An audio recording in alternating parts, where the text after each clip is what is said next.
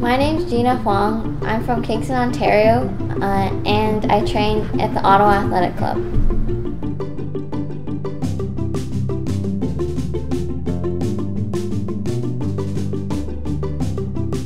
I live in Kingston, so I have to commute to Ottawa, which is a two-hour drive uh, there and there, and then back. It's, it's two hours again. I have to go up to Ottawa four times a week, um, and it's pretty hard um, with homework and projects and school. Um, so I usually have to do projects in the car or just whenever I have time. So I first started playing tennis um, when I was nine years old with my family. We were on vacation in Cuba and um, I just loved um, the sport, so I decided to start taking lessons from then on.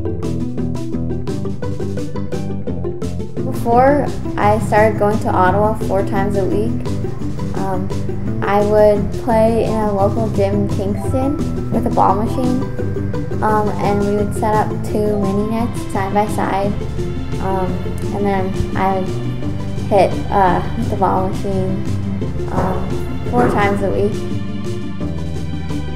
Currently, I'm working on my serve and developing my game style um, so that confident um, and I have like my own unique um, style of play that fits like my personality and how I play.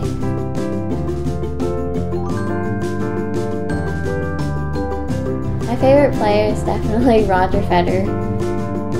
He's a legend and yeah, he's always fun to watch.